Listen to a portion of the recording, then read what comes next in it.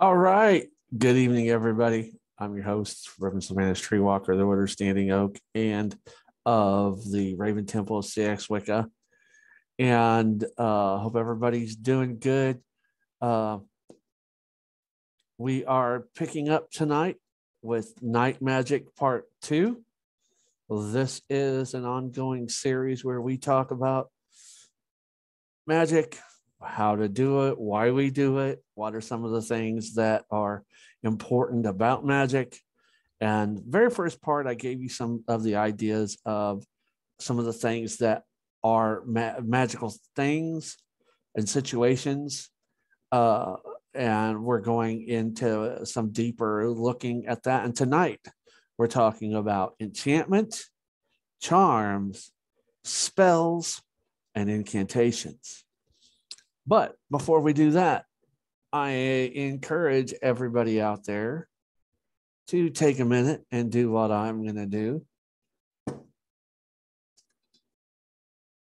I have a bottle of fresh mead here. And we are going to, because we're adults here and it's Friday night, we're going to take a minute and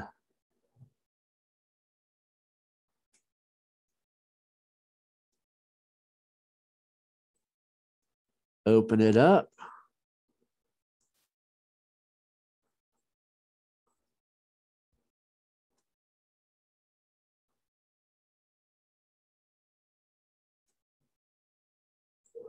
Right.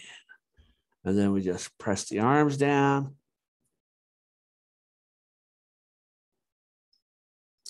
And wobble it off. And if you'd like to, go ahead and join me for a beverage yourselves. We're going to go ahead and pour some of this into a glass.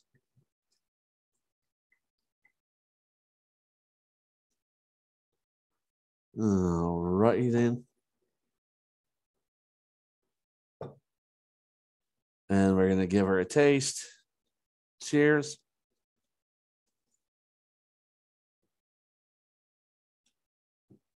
Oh, man. That is beautiful. That is beautiful. Let me get another drink here. All right. Okay. So, when looking at magic and what it is, you kind of have to start with the basics, and we're going to go through some of those things tonight. Uh, a lot of things that we are that we uh, know that are magical come from the real world. As an example, the first thing we're going to talk about are enchantments.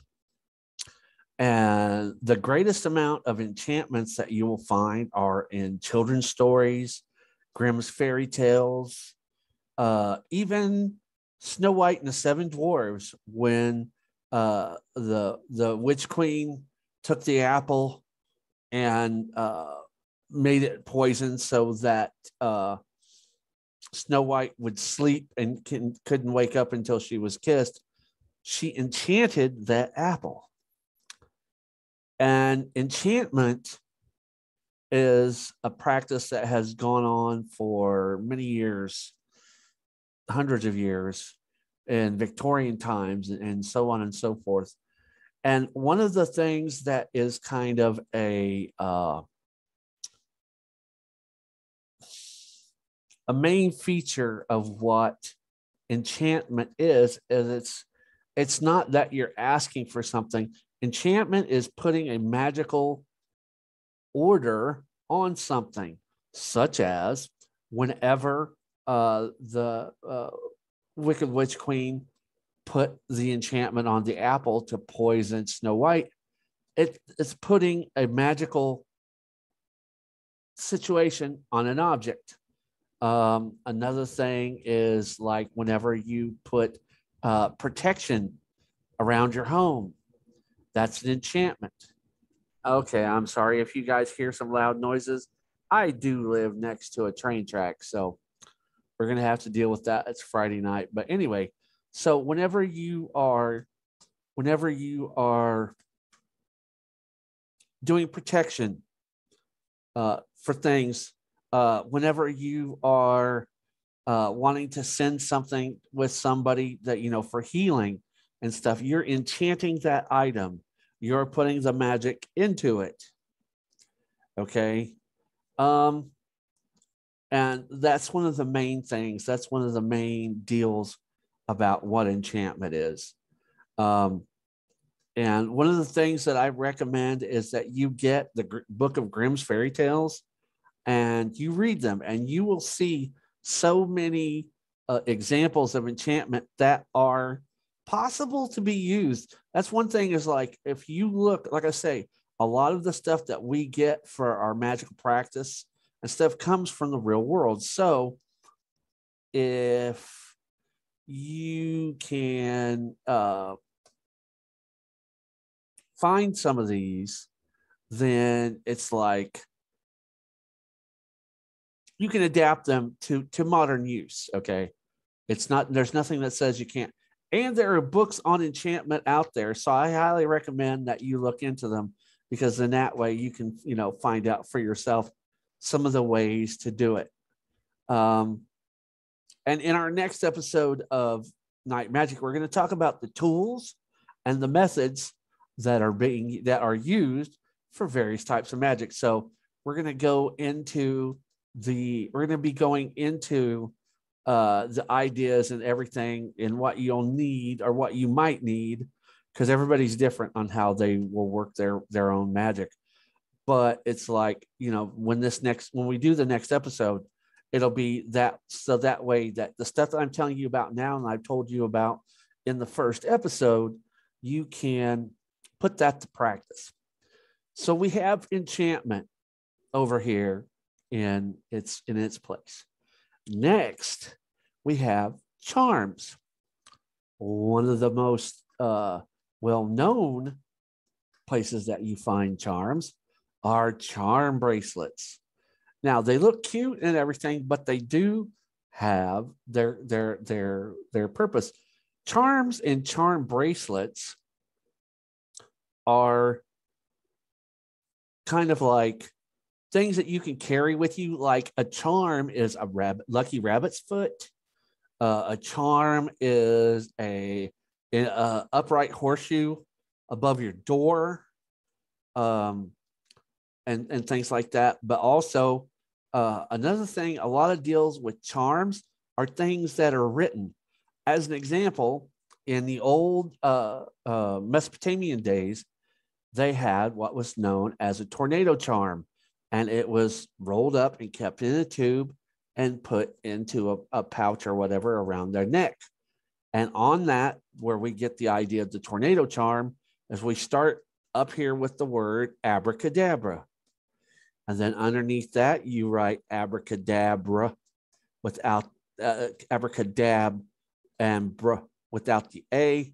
And then you just keep writing the word and removing the last letter of what you had from above so that it goes from the top and it goes to the down until you get all the way down to the letter A and it looks like an upside down triangle. It's a tornado. And you can do that with any word like wealth, W E A L T H, W E A L T, W E A L, W E A, W E, W, and have that and take it with you and put it in a pouch or put it in something.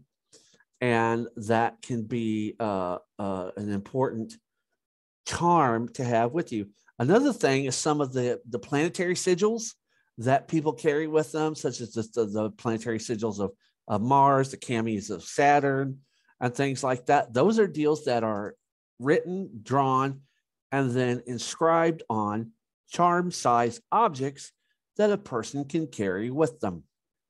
That's the main thing. Enchantments are what you put on things. Things, the things that you carry are the charms that have been enchanted. So, kind of to a degree, they go hand in hand. Um, so we have that. Uh, let me take a drink and let me just welcome everybody here. Uh, we're having fun with doing these videos, but also we want to be informative to you and stuff like that and give you guys some ideas about things on how to start your magical practice.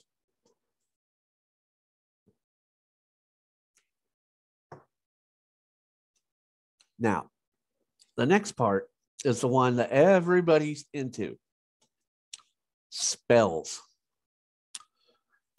And the main thing about spells, if you really look at it, it's not just the things that you use for the spell, but what you're doing with the spell. So, in other words, a lot of people will have an altar or a table or a, box or just something set up where they can set some items. They can be candles, they can be stones, they can be anything. And we're going to talk about, we're going to break down into some of the more uh, uh, different types and stuff beyond that in another video, like candle magic, cords, stone magic, things like that. But what you're using is you're using these items to represent certain things that you want to achieve or that that that, uh, that they kind of like coalesce for the whole of what it is that you want to achieve and then you are either lighting the candles or chanting over the stones or doing these different things and what you're doing is you are connecting with the energies of the earth and of the universe to get that thing that you want to have happen. It's working our will in accordance with change and the laws of the universe. Uh, you know, as the idea of like working with karma. If you work a spell that goes, and also ethics, when you work a spell against someone against their will, you will reap the whirlwind. You may have things happen that you've never had happen before. So when you're when you're casting spells, you have to be very very careful about what you do. And what we will do for for one episode of uh, the show Night Magic, I will cast a spell and show you how that works.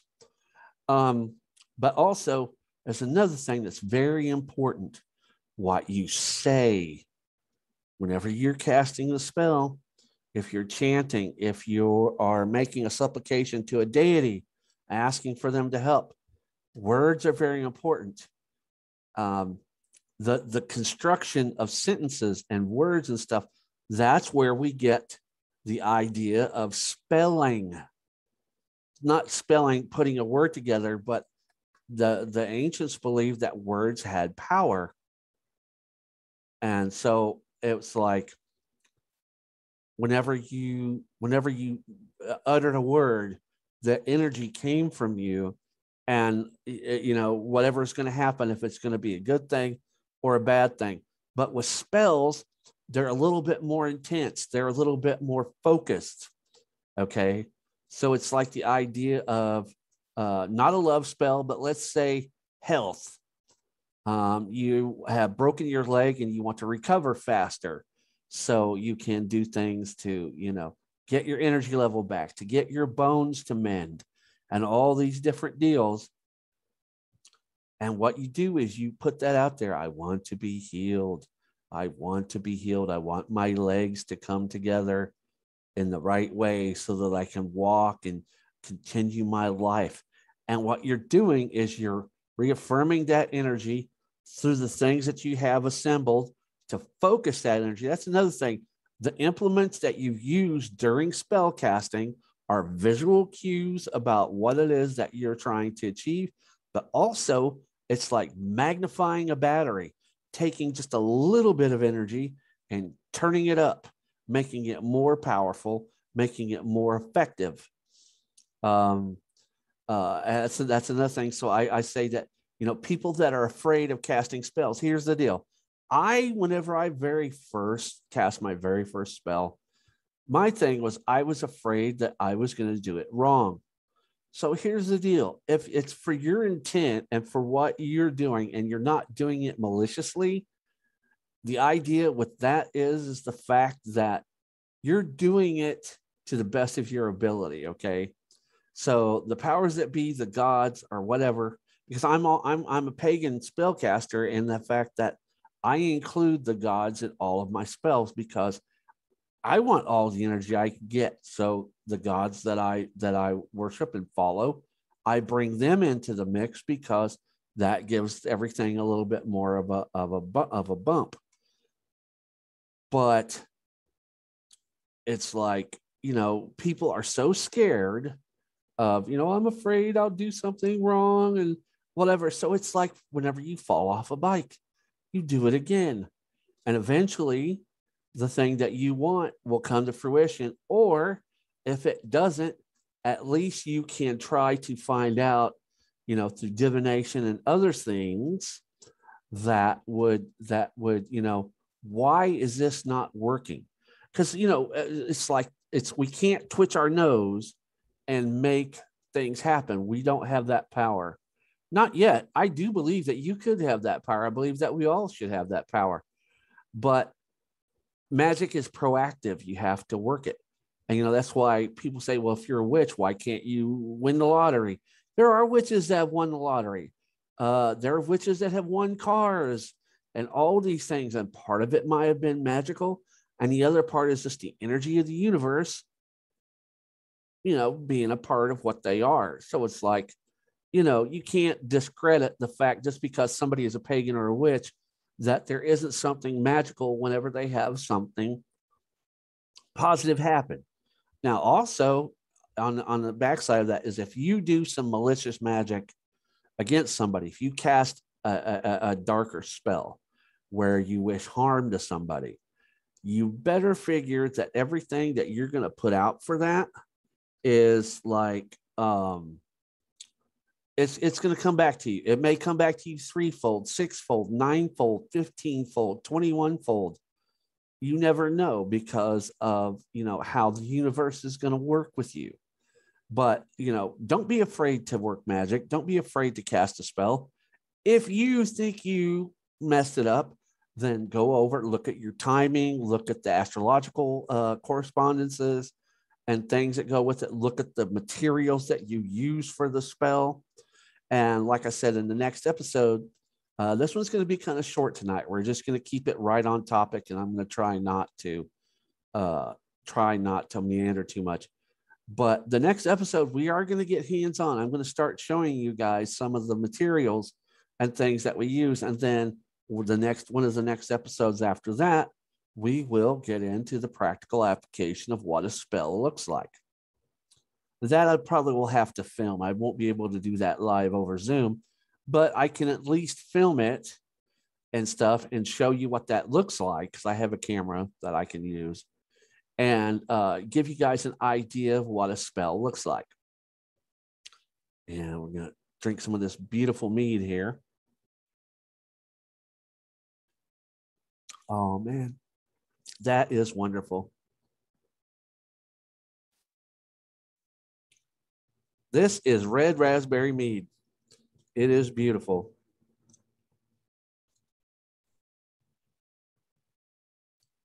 And of course, we got the train going by. So, the last thing, one of the things that is kind of important that a lot of people don't think of whenever we are uh, uh, working with magic, casting spells, meditating, and other things, we have the idea of incantations. Incantations are spoken words where you are uttering from your mouth the things that you're looking for. So, as an example, an incantation would be something like, All shall be well, all shall be well, all manner of things shall be well. All shall be well. All shall be well. All manner of things shall be well. And you keep going. That's a chant, that's an incantation. You also have the idea of, of um,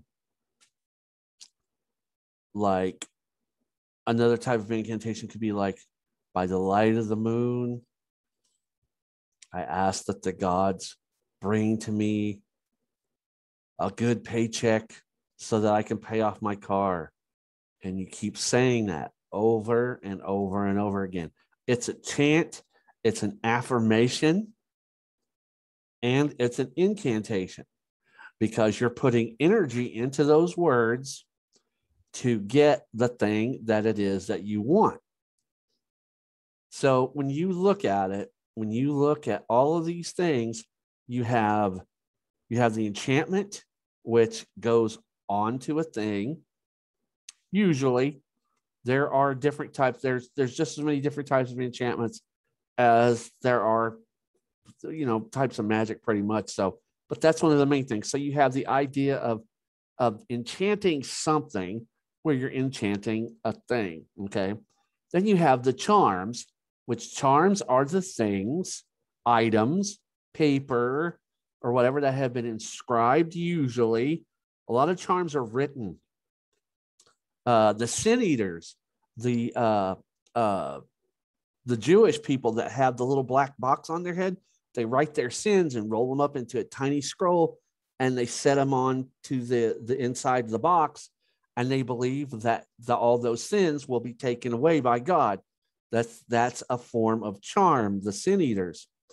Um, so you have, you have the charm aspects. And then you move into the realm that everybody is, is always looking for in the idea of what is spell casting and spelling spells whenever we speak that's one of the main things. Bardic inspiration bardic singing bardic song excuse me bardic song magic. Those are spells. Um, and there are many different kinds of spells that go into that realm. Um, and then you look at the things that kind of bring it together. You can do incantations whenever you are casting a circle working a spell, and there are incantations for other things whenever you're welcoming the day or uh, saying goodnight to the night and these different things. These are all incantations. So you have the four kind of bedrocks in what is the different types of magic out there. And then there are others I've talked about, which I highly recommend everybody go check out Night Magic Part One, the introduction to all of this. And pretty soon we're going to be doing Night Magic Part Three. And like I've said before, we may try to do this be- weekly, bi weekly, uh, what have you. Um, but I just wanted to take this short little bit of time and kind of give you some guys stuff and go to Amazon, go online, look up these terms. There are books that speak on incantations. There are many, many, many spell books, too many to list. I've got a bunch of them over here on my on in my bookcases. Um, there are books on enchantment. There are books on charms. Uh, one of the one of my favorites is by Trish Trish Trish Telesco, and it's called Folkways. And it's about that thick. You're going to have more stuff in there than you're ever going to need to work with. Um, but that's one thing. Is like magic is important. So don't be afraid. Work it speak the incantations, work the spells, uh, create the enchantments, create charms for yourself, and create charms for your kids, create charms for your friends. Do these things because, like I say, uh, magic is a spiritual muscle. And the more that you use it, the more um, that you'll just benefit. Okay. And that's why we do this as magicians, pagans, witches, druids, all these different things. So I just want to say thank you guys for hanging me out, hanging out with me for just a little bit. Uh, we are putting this up on a pagan perspective on YouTube. And I ask that you like, comment, subscribe, show the video to your friends. And we're trying to grow the channel. So if you would, I would like to ask you at this time if you would consider being a Patreon on my Patreon. All you got to do is go to www.patreon.com forward slash a pagan perspective. And we've got three different tiers. And what we do is what we're trying to do is to get better equipment for the channel. And some of the things that you get from the uh, Patreon is uh, you get shout outs. Matter of fact, the shout outs for this video, we want to say a shout out to our Patreon patrons, Alex McVeigh and Pam Forbes. Thank you guys so much. You do uh, so much for the channel. I appreciate your friendship and your help. But yeah, go to Patreon. And I also do readings. We're going to have merch here pretty soon. We do giveaways, which we've got a giveaway for 600 subscribers coming up, which I am going to be doing a video for that pretty soon. We've got videos for men's mysteries coming up. Um, we've got a video about Samhain that I'm probably going to be doing this week. So we've got a lot of things coming up. And if you would see it in your heart to help support the channel, A Pagan Perspective, uh, on Patreon, then it would be greatly uh, appreciated. And I just want to say that I love all of my subscribers and I love all of you out there that take the time to, you know, check these things out. I'm just a guy that's out there, you know, trying to put this information and to do things with our our people here for uh, the uh, Order Standing Oak and Raven Temple of Seax Wicca. We have so much coming up. We've got drummings coming up. We've got Samhain coming up. We've got new moon and full moon classes coming up. And in December, we've got Yule. We're doing our first outside ritual. We've done a lot of rituals inside, but we're, we've got a place and we're going to be doing Yule outdoors with a fire and everything. It's going to be beautiful. So we've got a lot of things coming up, and just uh, you know, help support the channel. Like, comment, subscribe, join Patreon, and as usual, I'm your host, Reverend Sylvanus Treewalker of the Order of Standing Oak and Raven Temple of Seax Wicca. Uh, have a great weekend, and I will see you guys in the next video.